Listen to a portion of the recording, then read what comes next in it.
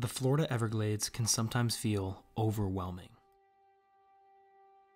The fact that there could be a spot out there that is untouched, untamed by mankind, is what keeps anglers coming back day after day.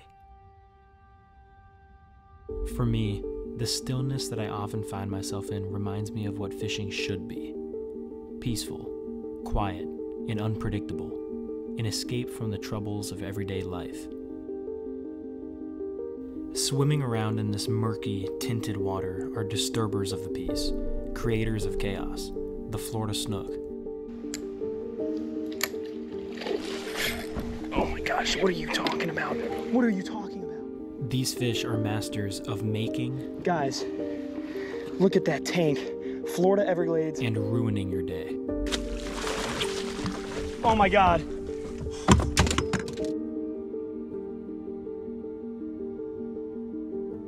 Today, I experienced a roller coaster of emotions battling these backwater monsters, and I did it in the greatest place on earth.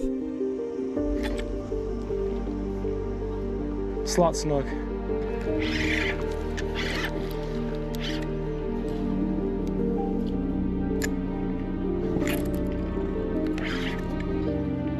That's another slot snook. It's a big boy, guys. This is bigger than I thought. Might be a big redfish. Beautiful fish right there. Probably 26, maybe 27.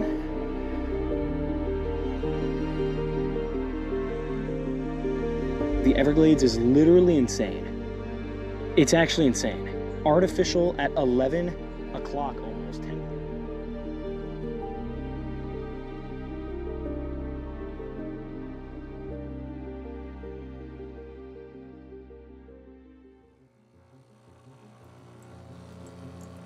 The trips down south typically start early.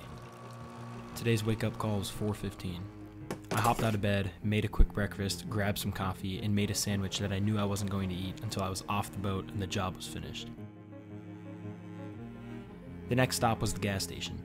5:25 a.m. on the clock. Topped off the boat with fuel for our long run and headed to the ramp.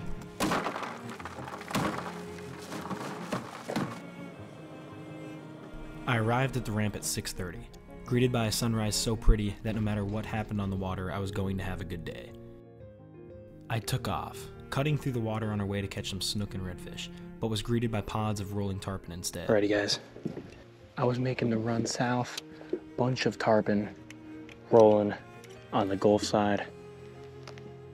Bait buster. Let's see what happens.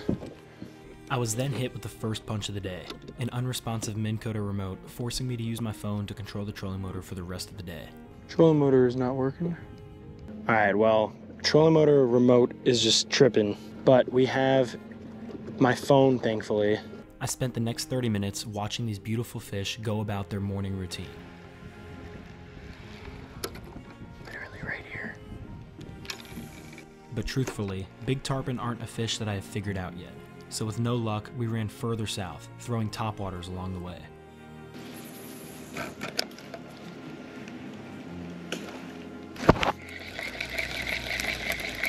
Missed. By the time 9:30 rolled around, I was pretty depressed. Zero fish in the boat, a lot of fuel burned, and a dwindling plan unfolding. That's when things changed, and it turned out to be the most outrageous day of fishing I've ever had in my life. Alrighty, guys. Well, enough messing around. Time to get on some fish. We're here for a reason. We're fishing a spot right now. I'm super excited for, guys. We got stuff blowing up. Just a line. We have oysters. When this low tide, this place is out of the water. And now I think there's gonna be lots of fish. Got to work with the phone. Not the easiest thing. I wish I had the remote, but that being said, let's get on some fish. My goal is to try to flip it up in the shade. It's summertime. These fish are gonna be hiding up in there. That is a shark right there. Yep, those things, there's no shortage of those. We'll say at least the Minn Kota has that north button where it kind of locks your heading. Having to constantly fiddle with the phone would be very annoying. If I'm cruising a line, I can just set it, which is nice.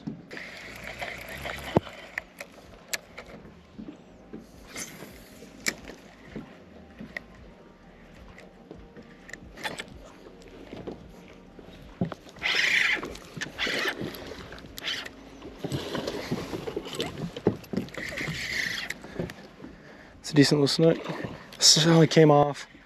Slot snook. Just shook it. Oh, that's killer. I'd rather have him snap me and shake it. It's because I have to fiddle with the trolling motor so much, man. I'm trying to, I like turned it off. Hmm. That was a slot snook.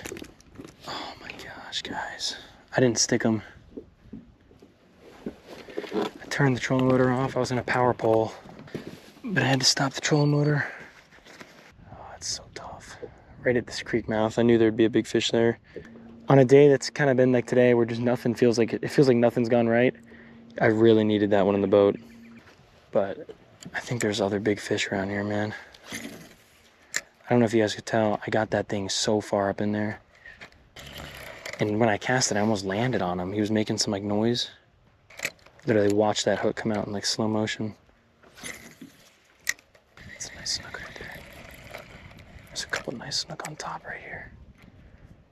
You can see him swimming right there. How the best way to attack this is. All right, so I just saw a couple decent little snook kind of up top right there. So I'm gonna cruise back in this creek a little bit.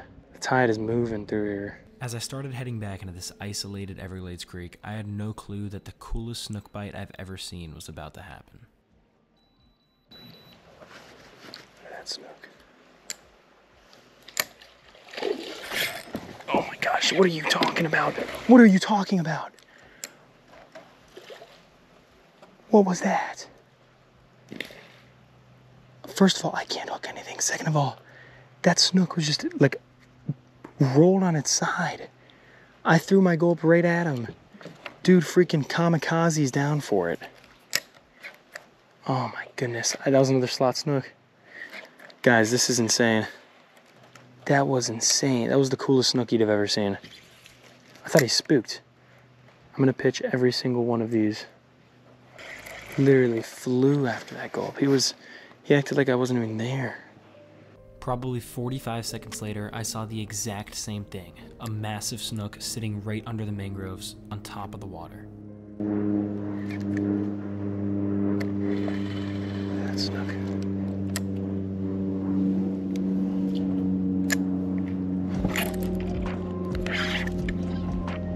That's another slot snook.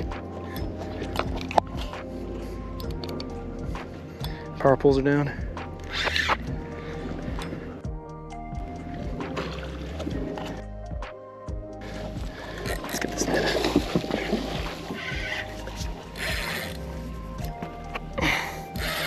A big boy, guys. This is bigger than I thought.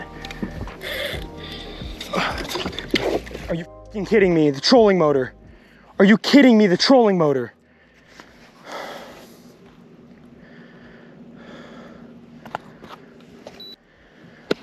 That was a low 30 snook. I spot I, I put the power poles down and I can't, I don't have the remote. The, the trolling motor, my phone is off, so I can't just click it to make sure it's off. Oh my, all we can do is just retie and try again. I mean, that is the third slot snook I've missed in like 50 yards. There's more in here. That one was the biggest one by far. That one was low 30s. This is madness, guys. This is literally madness. I'm putting on 40 pound leader. They don't care about the leader. That snapped at the braid though, got caught in the trolling motor. I gotta lift it up, make sure it's all right. I mean, that's user error. There's nothing, nothing I can say about that. I'll take full blame for that. I, I was putting my rod tip low. He was digging under the boat. I thought I was all right. I thought I was low enough. I saw it get kind of caught in there.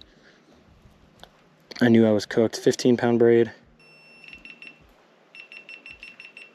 Now GoPro's overheating on me.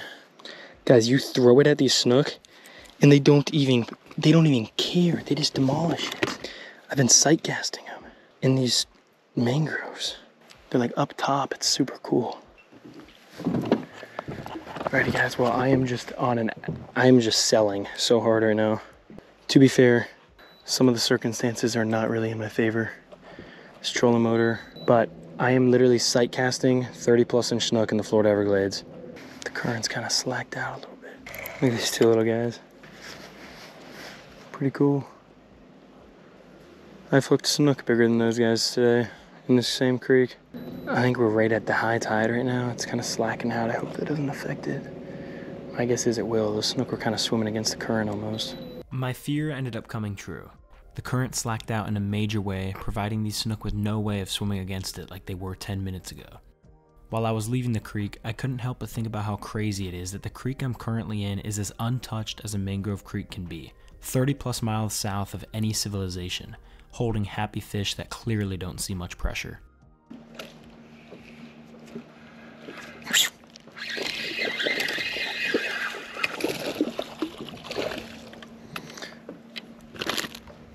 Okay, at least we finally got a snook in the boat. But we're just gonna work these mangrove lines, flip them, and work to another creek, which hopefully is like the other one. Yeah, guys, super unfortunate day so far. I mean, missed three slot snook. Uh, one of them I think was 100% due to the trolling motor being messed up. But at the end of the day, I should have just walked them up front, I guess. Also, it's just big inconvenience using that using that phone. Not the most ideal thing, but at the end of the day, I came all the way down here. We're gonna make it work. I've got to get you guys a nice snook. Or that last hook set, that uh, that snook that snapped me off in the mangroves or in the trolling motor. He, I, I knew he ate it, and I was like, I missed the other two hooks just pulled. I was like, I am gonna set the hook into this guy. Set the hook. They kind of come like belly up. Those, it's such a. I mean, you can't get better than that, man. Hopefully, we get to do that a couple more times today. Look at all the ladyfish straight ahead. It's actually unreal. What I love about a gulp too is you can flip it in these places, and like compared to a swim bait that you have to reel, you can just let it sit there, twitch it. If there's a snook, gives them more time to eat it, or more time to reject it. So I mean, there's benefits and negatives, but I like this right here. There's some current coming out of this little creek right here. There's some shade, which in summer that's what you want.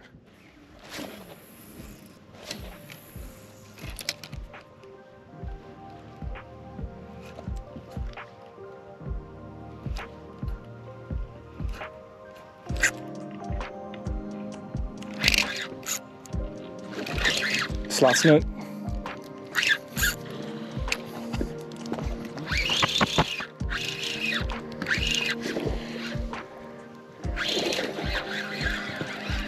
Nice.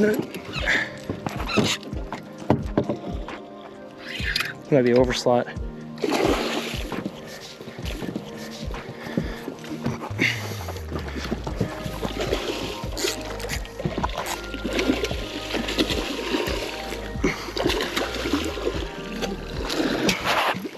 My God.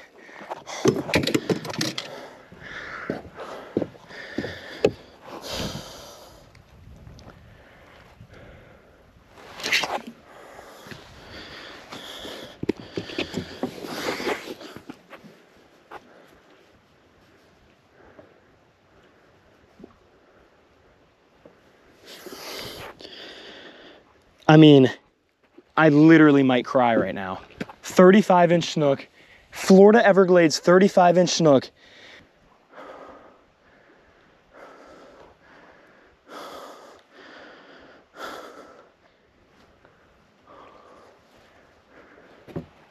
Guys, guys, we're 0 for 4 on massive snook. I can't, I literally, look at that thing. I mean, what is happening? I can't even process what's happening right now. 40 pound leader, he frayed through it. I had him in, I had him half in the net. I literally had him in the net. Oh my gosh, guys, I am in absolute shambles right now. I am in absolute shambles. I hooked into him. He was a literal tank. I thought it was on like a jewfish or something. I'm shaking. I'm literally shaking. All right, here goes nothing. I knew that was gonna happen sooner or later. Trying to net with this net, trying to net them by myself is literally impossible. They don't even fit in the net. Guys, if you're watching this, subscribe and like this video. I I need some positive support from mental health. Oh my goodness. I think the good man upstairs had some pity on me because literally the next cast, this happened.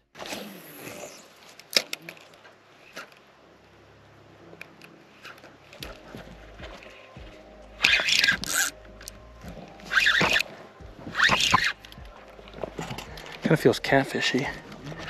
Might be a big redfish.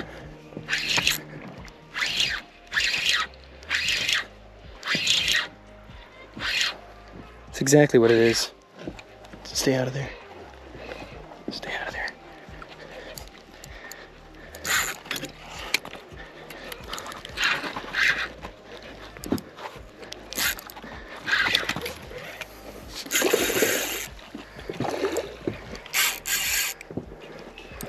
Thing's a tank. Hopefully a shark doesn't get him. Obviously I'm right next to a stick.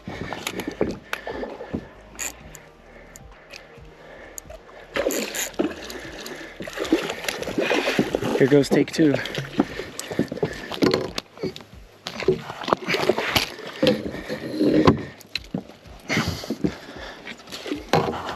Oh my gosh, guys, I did it.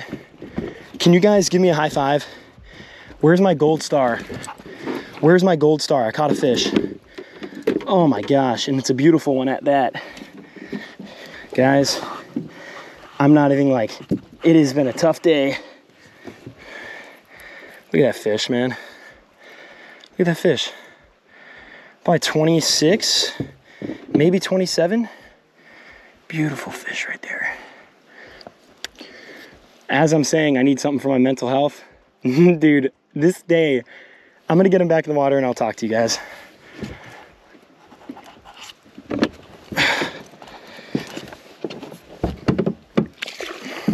Absolute debrief time. Guys, what is happening? What is happening? What is happening? I'm not even like excited about that. I just I can't even process what's going on.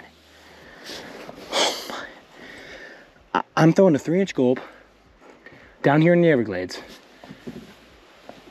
I've lost four slot snook, one over slot snook. So three slots, one over slot, maybe two over slots. That last one was literally probably 34, 35 inches.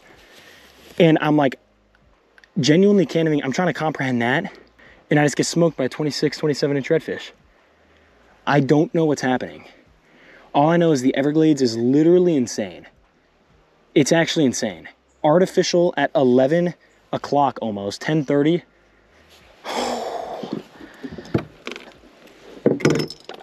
I don't know, man. All I know is we're gonna keep getting on them. Let's freaking go. Let's freaking go, man. All right, we ran out of natural shrimp, which has just been killing them. New penny. Let's go. Back camera just died. Maybe I should have just tried to mouth grab that snook. Didn't even cross my mind. Oh. wonder if that's that redfish what was what was blowing up. Because something blew up there. I thought it was a snook. I cast it right at it. After spending the next five minutes trying to get my gulp out of a tree, there was no more creek mouths dumping out water. I decided it was time to start running north along the coast back to the ramp, stopping at places I thought there might be fish.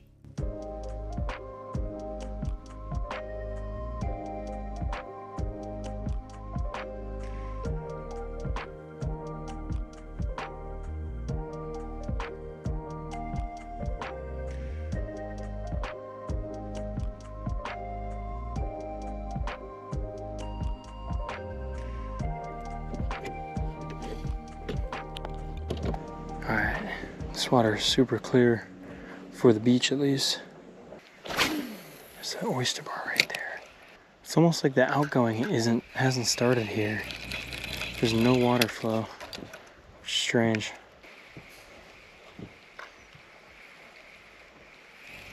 It's a nice redfish. Or a spoot to big redfish. He's probably mid to upper 20s. He's just cruising along in the bottom.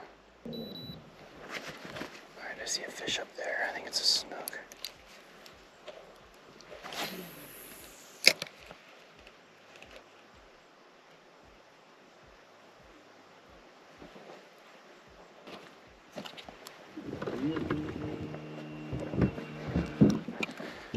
Alright. I see a fish.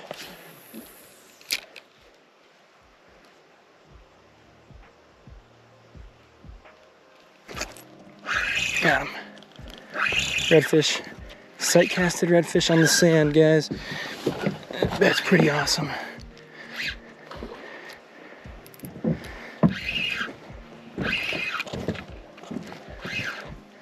Beautiful little guy. Here's this little beach redfish.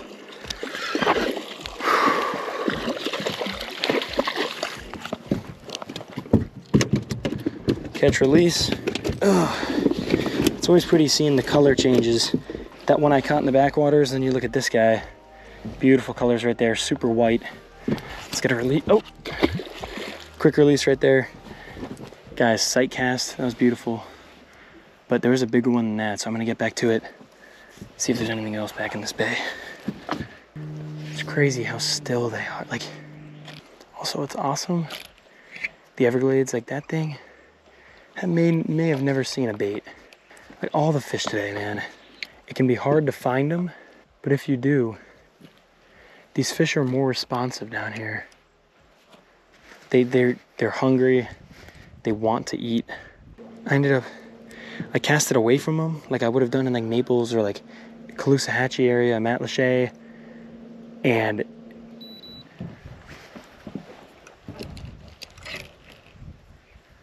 This big headwake up there.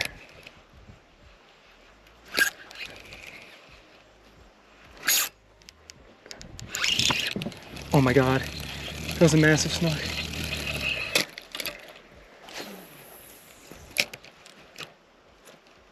Guys, this is insane.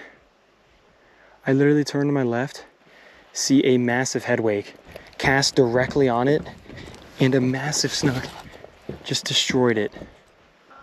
He's definitely gone. Just didn't get a hook in him. I am now 0 for 5 on snook. That's what I was, I was just talking about how responsive they are. I literally just cast it on that fish's head. I think it was a big snook. He looked super white, but also the redfish are gonna be super white here too.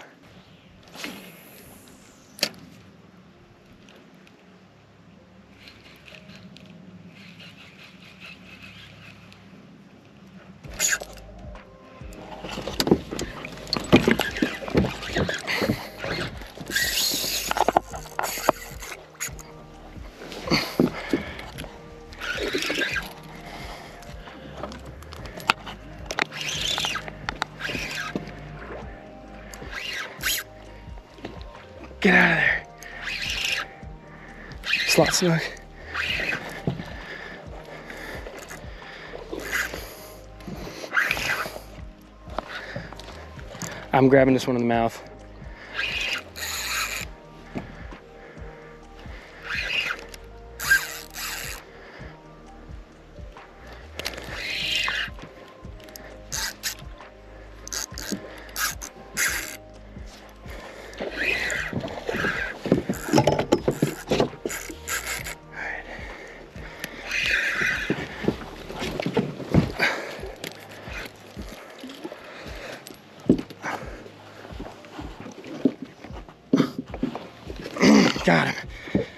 My gosh. Let's go, guys. God is good. Oh my gosh, this is insane. Best fishing day I've ever had in my life. Look at this fish. Look at that fish. Best fishing day I've ever had in my life. 100%. This is absolutely unreal. Guys, look at that tank.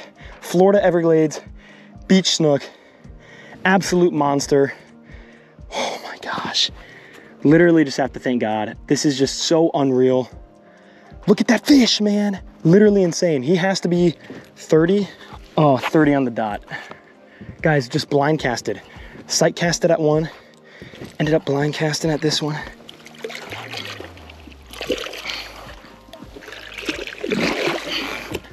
I'm gonna retie real quick, guys. That is just God helping me out. He's seen me extremely down bad today. He's like, you know, man, his creations, the snook, have gotten the best of me by far.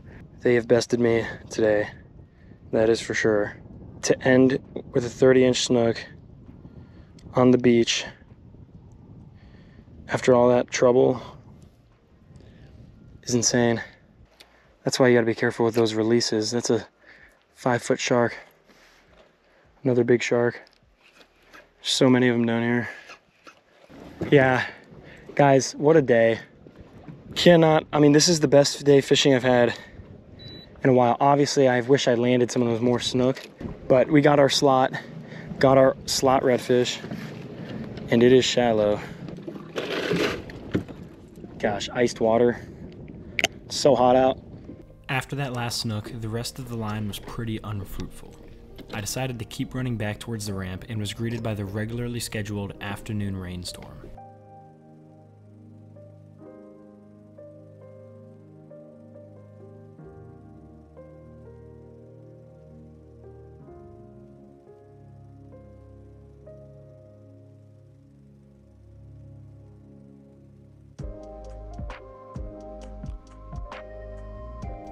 After making it through the storm safely, I decided to try one more spot. Unfortunately, the tide had moved out too much and I had very little water to work with, so I decided it was time to wrap it up and head home.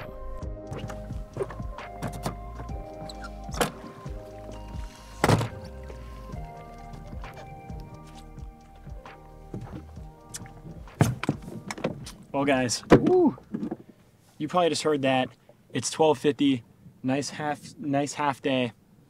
Um, I'm gonna head home, guys. I mean that was actually probably the most fun, interesting fishing trip I've ever had in my life. It was absolutely unreal. The Everglades, if you've never fished here, can be tough because everything looks so good.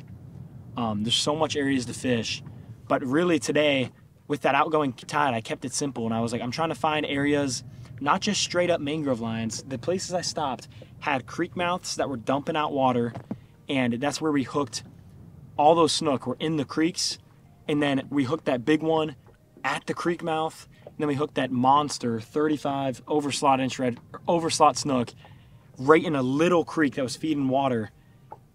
Absolutely unfortunate. I did not have someone else on the boat. I one obviously would have caught that fish. I had him in the net almost in like I actually just had him by the boat for 20 seconds. He cut through. But that shows, I mean, I need to, next time you see a video, I'm probably to have a new net on the boat. Also, I got to know, should have just grabbed him. You know what I mean? Should have just grabbed him with my hand. I did it with the last Snook, worked a lot better. That's what I do on the skiff. I don't even have a net on the skiff. It's just easier. Um, but you live and you learn. But that's to haunt me for quite some time. I mean, overslot Snook. I haven't gotten an overslot Snook on artificial in a minute. It's extremely tough, especially down here in southwest Florida, on the in the Everglades especially. But literally three casts later, God heard me, I guess, and provided a 27 inch redfish that I literally was like, it was the most nonchalant fight ever. He came up and then he was started to smoke me. And honestly, I wasn't even like happy because I'd assumed he was to come off. I saw his hook, barely hooked, and I netted him. I kind of had trouble with that net job too, but thankfully got him and then ended it with that absolutely beautiful snook.